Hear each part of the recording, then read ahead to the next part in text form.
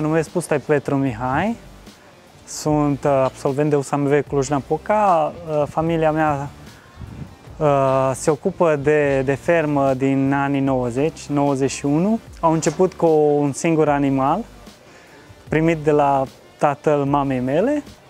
Au dezvoltat o fermă mixtă, zootehnică și vegetal, în comuna Urmeniș, județul Bistrița. În anii 2003-2004 ne-am mutat în județul Mureș, locația actuală Râu Crucii, unde partea de zootehnie a încercat tatăl meu să o dezvolte cât a putut, cu fondurile proprii. Urmând ca în anii ulterior, 2012, am mai crescut eu și am ridicat puțin ștacheta.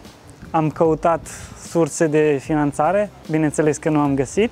Am forțat nota cu sursele proprii și am ajuns astăzi la un efectiv de peste 160 de capete, 157, 160.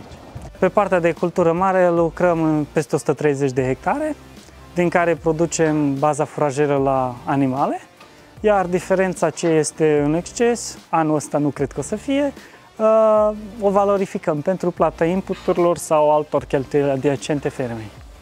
Până în anul 2013, ferma a funcționat pe utilaje clasice românești, da, tractorul 650, disc, semănătoare, tot ce se producea în România sau s-a mai putut folosi în era postcomunistă. Uh, din anul 2013 eu m-am ambiționat și l-am convins pe tatăl meu să achiziționăm un tractor nou și de acolo am simțit un, un impuls, o dorință de a ne înnoi. Și pe parcursul anilor ce au urmat, tot câștigul pe care l-am avut în fermă, o mică parte a fost direcționat spre traiul familial și restul a fost reinvestit constant. În 2019, uh, presat de lipsa forței de muncă, am încercat să caut soluții pentru eficientizarea lucrului în fermă. Practic pentru uh, managementul gunoiului de graj, pentru gestionarea baloților și a furajelor atât grosiere cât și fine, pentru făinuri și alte lucruri care le poate el gestiona, încărcătorul și m-am orientat spre Technodiesel, care e furnizorul regional pe partea de încărcătoare articulate marca Weidemann.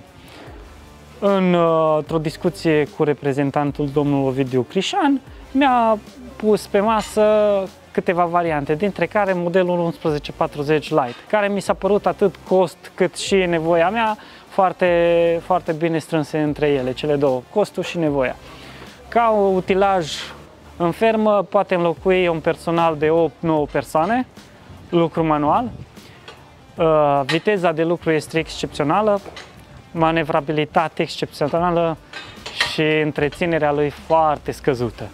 Consumul cu combustibil la un rezervor de 12 litri, nu știu ce să vă zic, o săptămână, 3-4 ore pe zi, o săptămână, 12 litri. Îl folosesc la degajarea gunoiului din adăpostul bovinelor adulte, la scoaterea gunoiului din adăpostul tineretului care este pe pat cald, cât și la manevrarea baloților prin curte, atât de semifân cât și baloți de paie sau de fân uscat. Mai distribui furaj de genul siloz, uh, manipulez uh, paleți cu îngrășăminte, saci de îngrășăminte mari, big bag, știu eu, inclusiv uh, paleții de concentrate pentru bovine.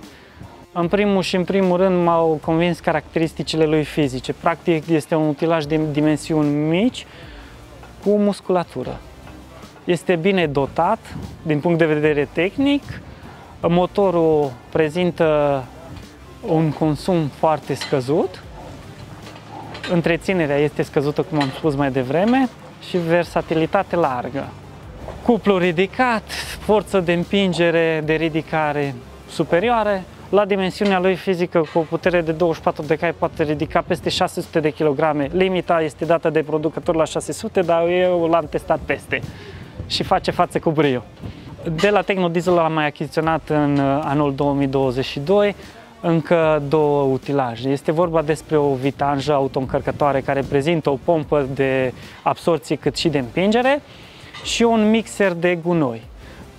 Revenind la cisterna, aceasta are, îmi oferă posibilitatea de a-mi administra eficient gunoiul de graj pe care îl adun în batal.